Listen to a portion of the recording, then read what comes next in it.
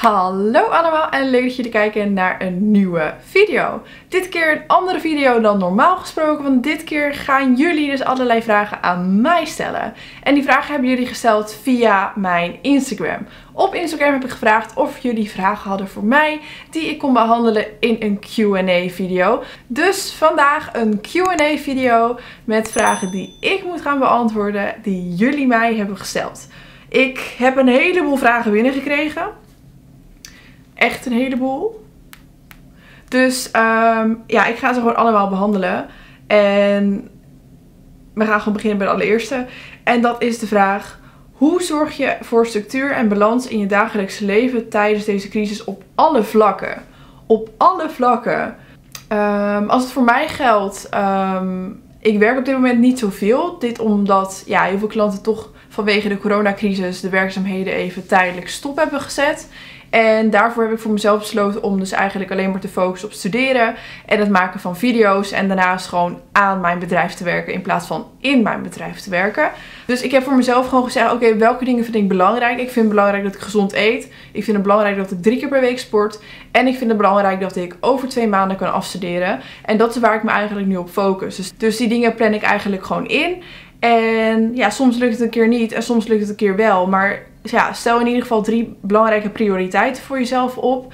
En houd jezelf eraan. Want op die manier ja, werkt het voor mij en krijg ik structuur in de dagelijkse dingen die ik doe. En de dingen die ik belangrijk vind zonder mezelf daarin kwijt te raken. Um, ja, de tweede vraag was hoe ga je om met het coronavirus als ZZP'er? Is wel een beetje gerelateerd aan de vorige vraag ook. Um, ja, hoe ga je ermee om? We kunnen het alleen maar accepteren. Het is natuurlijk geen leuke periode, maar ja, weet je, ik kan moeilijk in een hoekje gaan zitten huilen, want ik heb er toch heel weinig invloed op. Op dat soort dingen, het coronavirus, pandemie, hebben we gewoon geen invloed op. Dus je kan maar beter focussen op de dingen waar je wel invloed op hebt. En dat zijn bijvoorbeeld in mijn geval afstuderen, werken aan mijn bedrijf, kijken welke dingen ik nog kan optimaliseren, aan mijn website werken en gewoon voor mezelf blijven zorgen dat ik gezond blijf en dat ik aan mijn beweging toe kom. Dat is voor nu even het belangrijkste en dat is hoe ik met de coronacrisis uh, omga. Wat zijn mijn favoriete koekjes? Zo, um, ik heb echt super veel favoriete koekjes eigenlijk. Vroeger was ik helemaal gek op bokkenpootjes. Favoriete koekjes. Ja, sowieso alles met chocola eigenlijk. Favoriete koekjes. Ja, chocola, alles met chocola, pinda's. Eigenlijk vind ik elk koekje wel lekker. Behalve hele taaie koekjes of zo. Ik kan me nu eigenlijk niet eens een koekje bedenken wat ik niet lekker vind eigenlijk. Oh ja, ik weet het al. Mergpijpjes. Dat vind ik echt super smerig. Die ziet er ook gewoon vies uit. De rest, eigenlijk alle koekjes lust ik wel. Dus dat zijn mijn favoriete koekjes. Alle koekjes. Welke tandpasta gebruik je? Um, dat is een goede vraag. Dat weet ik zelf niet eens. Um, ik geloof dat ik nu Coolgate, zo'n klein minietje van de tandarts gebruik. En eigenlijk moet ik daar nog een keer voor terug, want ik blijf er maar last van houden. Ik kan aan deze kant bijvoorbeeld, um, ja het is heel erg gevoelig voor kou en warmte. Dus als ik thee drink krijg ik echt enorm veel pijn. Als ik een op kamertemperatuur glas met water drink krijg ik heel veel pijn. Dus dat is niet zo fijn. Um, dus ik denk Coolgate Rapid Relief dat ik nu gebruik. En voor de rest, ja, gebruik ik eigenlijk elke tandpasta die ik uh, ja, op dat moment voorhanden heb uh, liggen. Wanneer ben je uitgestudeerd? Uitgestudeerd. Is dat wat anders dan afgestudeerd? Of is dat hetzelfde? Als het gaat om afstuderen ben ik hopelijk in juni afgestudeerd dit jaar. Wanneer ik uitgestudeerd ben, ja, ik ja, studeren en leren is natuurlijk wat anders. Maar ik geloof wel in een heel leven lang blijven leren. Dat vind ik hartstikke leuk. Nieuwe dingen ontwikkelen, nieuwe dingen ontdekken, um, nieuwe vaardigheden ontwikkelen. Dus als het gaat om afstuderen dit jaar juni, als het gaat om totaal uitgeleerd zijn en dat soort dingen, dan ja, als ik tussen vier plankjes lig. Um, eens even kijken wat we hier nog... Ik zit niet lekker op die stoel. Het is eigenlijk een kruk, maar mijn shirt is te kort. En dan kruipt hij omhoog en dan voel ik de leuning van de kruk. Zo, dat was even een beetje side info voor jullie. Oké. Okay. Um, ben je bereid om in Sertogenbos te gaan wonen of buiten Rotterdam?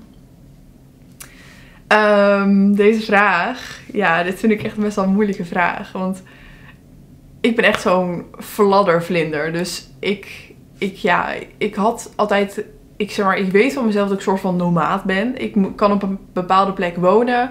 En als ik me daar lange tijd niet verveel of niet verveel, dan weet ik dat ik daar op mijn plek zit. Verveel ik me wel, heb ik het al gezien, dan ga ik weer heen en weer bewegen en dan neem ik spullen mee en dan ga ik weg. Dus ik kan heel makkelijk van plek tot plek verplaatsen. En ik kan ook heel makkelijk mezelf aanpassen om in het buitenland te wonen. Of dat vind ik echt allemaal geen probleem. Ehm, of ik bereid ben om in het bos te gaan wonen. Ja, dat is waarschijnlijk een vraag die gerelateerd is aan de plek waar mijn vriend ook woont. Um, ja, ik vind het zo'n lastige vraag. Ik, uh, ja, weet ik veel wat er in de toekomst gaat gebeuren? Ik weet het niet. Um, maar voor nu wil ik in ieder geval nog in Rotterdam blijven wonen. En kijk, misschien, ik heb nu geen auto, maar stel dat ik een auto krijg, dan um, is het wel handig om wat meer buiten het centrum te gaan wonen. Omdat je dan ook kan parkeren. Tenzij je in een appartementcomplex gaat wonen met een parkeerplaats die daarin is gebouwd.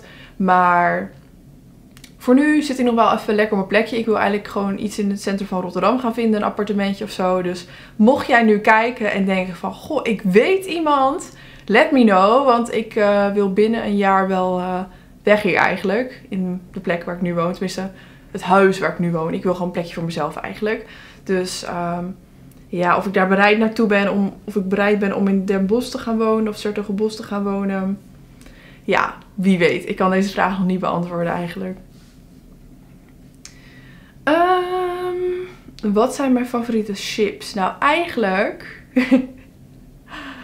het is waarschijnlijk heel erg om dit te vertellen. Maar eigenlijk eet ik helemaal geen chips. Kijk, als het er staat op een verjaardag, dan eet ik het wel. En dan hou ik het liefst van een beetje pittig of um, paprika chips. En ik vind die van Krokkie ook wel heel lekker. Vroeger kon je me echt, nou niet wakker maken, maar dan kon je me wel echt heel blij maken met die blauwe, dus de paprika chips van Krokkie. Um, nu, ja, ik vind die Lays Baked vind ik ook lekker. Doritos vind ik ook lekker. Favoriete chips? Nou, ik denk dat, ik dan toch voor de Kroki paprika ga. Heb je ooit een teamsport gedaan? Ja, ik heb, jullie geloven het niet, vroeger als eerste op gym gezeten. Dat was zeg maar nog buitenschool en het kwam eigenlijk een beetje neer op dat het turnen was. Een soort van turnen over een balk en de trampolines en dat soort dingen. Dus dat heb ik gedaan. Ik heb getennist en ik heb gejudo'd. Dus ik geloof dat dat wel... Zijn dat teamsports eigenlijk? Nou ja, ik was niet alleen in ieder geval, dus... Ik ga er maar van even vanuit dat het gewoon een teamsport was. Dus ja, ik heb drie teamsports gedaan. En waarschijnlijk wisten, jullie dat helemaal niet van de judo en dat soort dingen. Maar dat is ook echt al heel lang geleden hoor. En uh, ja, het is ook niet dat ik daar nu van denk van, yo, daar heb ik echt heel veel aan gehad of zo. Maar ja, ik heb het wel gedaan. Um, eventjes kijken. Wat was je allerleukste opdracht voor je bedrijf tot nu toe? Ik denk dat dat de opdracht was dat ik vijf advertenties voor Luxe Plus mocht creëren. In de periode rond kerst, oud en nieuw en Black Friday.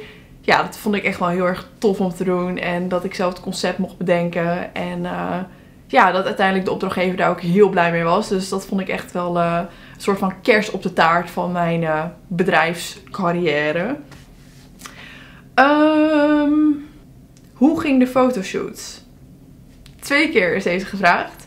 Fotoshoot ging goed. Het was natuurlijk maar een half uurtje, want ik had één profielfoto gewonnen. Dus dat was eigenlijk gewoon gezellig kennismaken, zitten, een paar foto's schieten en klaar.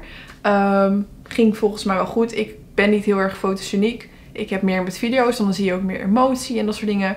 Maar ja, als ondernemer moet je zichtbaar zijn. Dus je moet ook af en toe op de foto. Ik heb eigenlijk hele grote hekel aan op de foto gaan. Want ja, het is echt een hit or miss, zeg maar. Een video kan je nog je mond bewegen en nog laten zien en la la la. Maar in een foto is echt of, of. Dus dat vind ik soms wel eens lastig. Maar ik ga ervan uit dat het wel heel mooi is geworden. Ik krijg trouwens de foto vandaag opgestuurd. Dus um, wie weet dat ik hem nog wel in deze video kan verwerken. Um, wat wilde ik worden toen ik klein was? Nou, ik wilde altijd prinses worden. Ik kan me niet voorstellen dat ik iets anders heb gewenst eigenlijk. Ik wilde altijd prinses worden. Echt heel average om dat te zeggen. Maar ik had altijd de droom om prinses dus te worden. Ik dacht dat echt dat het allerleukste was in de hele wereld. En nu realiseer ik me dat dat totaal niet leuk is. Want dan kent iedereen je en dat soort dingen. En nee, het zou geen leven voor mij zijn. Maar dat wilde ik vroeger dus worden. Ehm, hoeveel vierkante meter is je appartement? Uh, ja, ik heb geen appartement. Ik heb twee losse kamers in een huis. Deze kamer is volgens mij 17, 18 vierkante meter. En dat kamertje ernaast 6 of 7 of zo. Dus dat. Kind, je wimpers zijn zo mooi. Welke mascara gebruik je? Help a girl out. ja, um, nou, ik heb ten eerste echt mega, mega, mega lange wimpers van mezelf. Let op, ik ga het aan jullie laten zien. Kijk, dit zijn gewoon de wimpers die ik heb.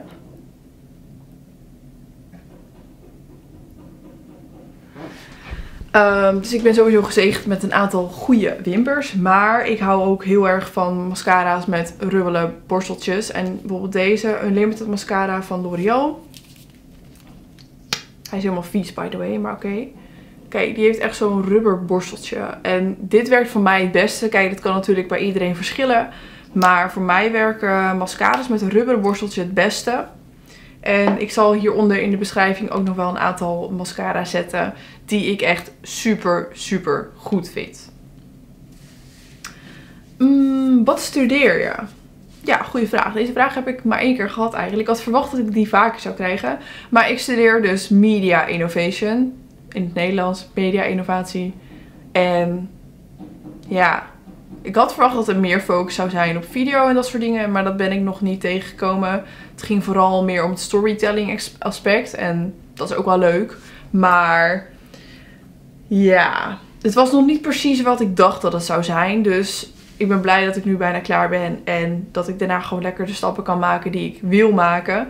Um, en mezelf dus kan gaan focussen op meer en meer video. Dus dat is wat ik studeer. En um, ja, ik, ik heb dat gedaan omdat ik... Ik had eerst commerciële economie gestudeerd. En ja, dan kom je toch wel heel vaak bij een online marketingbedrijf terecht. En niet dat ik dat per se niet wilde. Maar ik wilde gewoon geen 9 tot 5 baan. En ik vond video's maken toen al echt super leuk. En ik dacht, ja, weet je, ik wil niet over vijf jaar opeens het bericht krijgen als ik ergens solliciteer van... Hey, ja, leuk dat je op deze functie solliciteert. Maar je hebt helemaal geen media achtergrond. Dus ik dacht, nou, ik ben nog 23 jaar. Ik ga gewoon nog een master media innovation doen.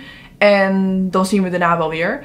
En dat is eigenlijk de reden waarom ik het heb gedaan. Meer een soort van backup plan. En dat mensen niet kunnen zeggen, nee, je hebt de diploma's er daar niet voor. Ik vind sowieso diploma's zijn makkelijk om ergens binnen te komen. Maar het is een bewijs van je kennis en niet van je kunnen. Ik denk dat heel veel mensen met een diploma nog veel meer kunnen. Misschien ook wel ja, in staat zijn om veel meer dingen te kunnen um, dan ze eigenlijk denken. En ja, het is jammer dat in deze maatschappij nog steeds heel veel focus ligt op diploma's. Terwijl er ook heel veel goede mensen zijn die misschien niet net de juiste diploma hebben. Maar wel heel erg gemotiveerd zijn om iets te leren.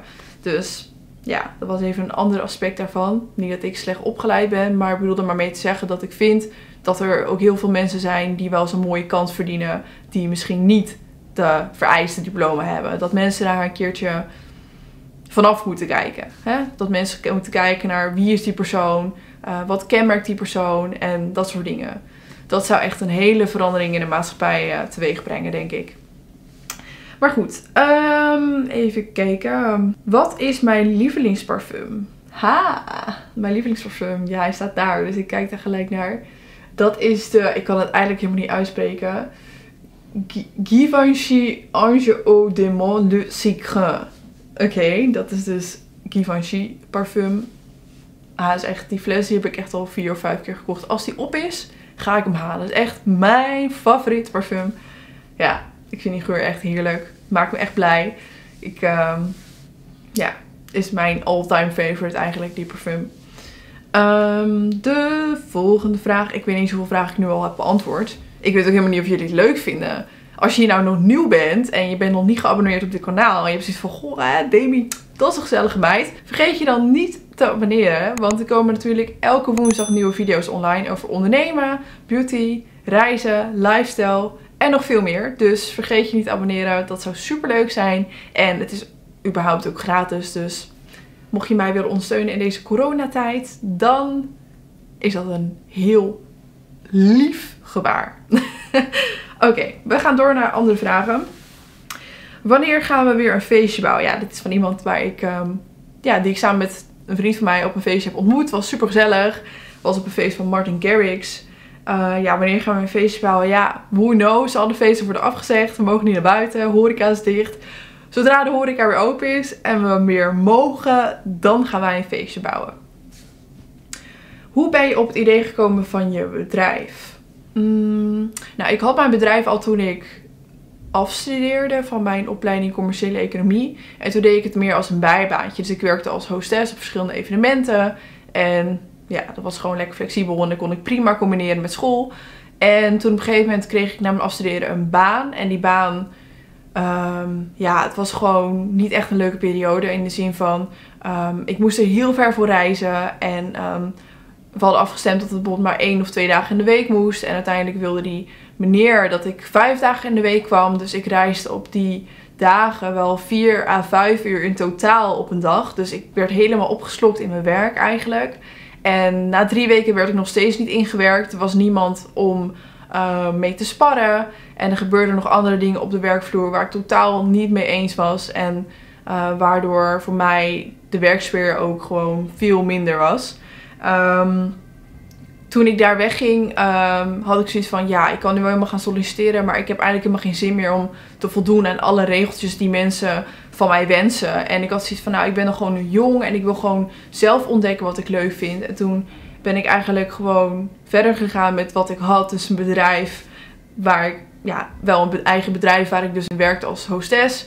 Maar wat ik steeds meer wilde uitbouwen naar mijn droom en mijn passie voor video's en het vertellen van verhalen. Um, en ja, nu sta ik op punt dat ik dat eigenlijk niet meer doe. Dat hele hostess ding. Um, en dat ik dus eigenlijk alleen maar mijn eigen klanten heb. Dus wat dat betreft gaat het wel de goede kant op. En zo is dus mijn bedrijf ontstaan. Hoe lang woon ik al in Rotterdam? Dat is een goede vraag. Want dan zat ik laatst nog even naar te kijken hoeveel huur ik al had betaald. Sowieso niet het totaalbedrag, want dat, daar schrik ik me helemaal een hoedje van. Maar um, ja, hoe lang ik dat al doe? Ik geloof dat ik nu twee jaar in Rotterdam woon. Misschien iets langer. Maar twee jaar, dat, uh, ja, dat denk ik wel. Twee jaar. En ik heb het onwijs naar mijn zin. Dus voor mijn part komen er nog heel veel jaren bij. Zo, ja, jullie zullen het niet geloven, maar ik heb eigenlijk alle vragen wel beantwoord. Ik had verwacht dat er veel meer gemene, sneaky, op het randje zittende vragen bij zouden zitten. Maar jullie zijn eigenlijk allemaal best wel lief voor mij geweest. Nou, mochten jullie nog andere vragen hebben, dan hè, stuur me een DM'tje op Instagram of voeg me even toe op Instagram. En um, wie weet dat ik over een tijdje weer een nieuwe Q&A doe met natuurlijk andere vragen. Ik wil jullie voor nu heel erg bedanken voor het kijken. Vergeet je niet te abonneren en ik zie je heel snel weer terug hier op mijn kanaal.